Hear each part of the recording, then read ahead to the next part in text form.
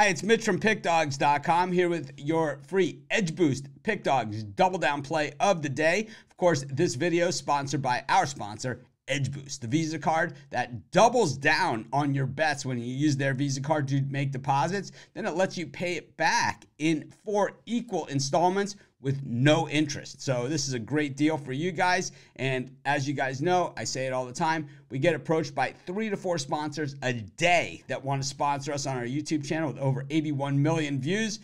Well, that comes with the territory. But the thing is, I always say no to just about all of them until I found one that, well, benefits you guys uh, a ton. And I feel this one does that by allowing you to pay it back with no interest and they double down your bets. Sounds like a no lose situation to me. But, anyways, let's.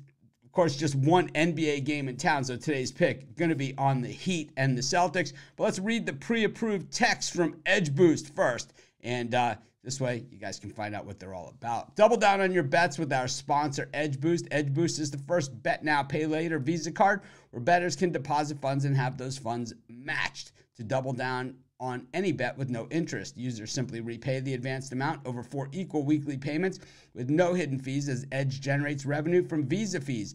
As a special offer, the first 500 users to sign up will start with $1,000 advance limit. The next 2,500 users starting at $500. Double down your bets today with the link in the description below. And the way the Edge Boost works is that as you pay it back, the, the card, they increase your limits. Right now, the max is $2,500. So, uh, anyways, check it out. Click on the link in the description support our sponsor, Edge Boost. But anyways, let's get to today's pick. And this one, let's go to Miami where the Heat are looking to sweep the Celtics right out the door. You know, when this series started, I said the Heat were going to beat up the Celtics. I picked the Heat on the money line in every single one of these games. People have been calling me a homer, all those other things, but up may, and while that may be true, at the same time, we've had good reason to believe that the Heat could beat up on the Celtics. Look what they did to the Milwaukee Bucks, who were the one seed in the Eastern Conference. They beat them up as a dog in every single game in that series. They were a dog in all of the games in New York in the Knicks series. And they've been a dog in the first three games of this series against the Celtics. And I tell you, the Heat used that to their own advantage, saying, No one believes in us well, let's show them and give them reason to believe in us. And the Heat have let their play on the court doing the do the talking. They don't really have superstars to lean on. They've got Jimmy buckets and everything goes through him, but he doesn't he doesn't do all the scoring by any stretch of the imagination. He's a great facilitator out there as well, expediting the plays and really making it all happen. And playoff Jimmy has been unstoppable for the Celtics. The Celtics certainly have more superstars. They have a ton of talent on this team.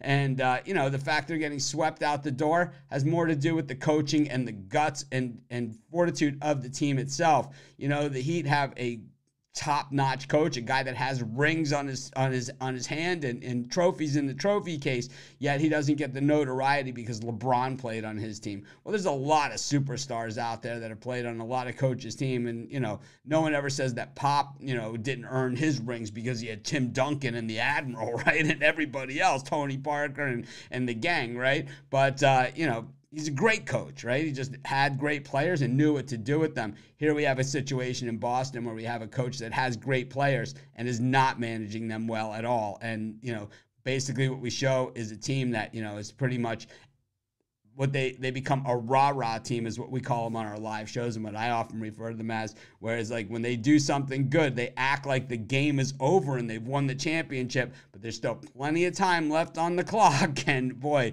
you know the other team that does nothing but incite them, and we've seen the Heat use this as motivation time and time again in this series playing with a chip on their shoulder. Generally, you figure, well, they're not going to get you know swept, they're not going to get taken out, and you know they're too good for that to happen.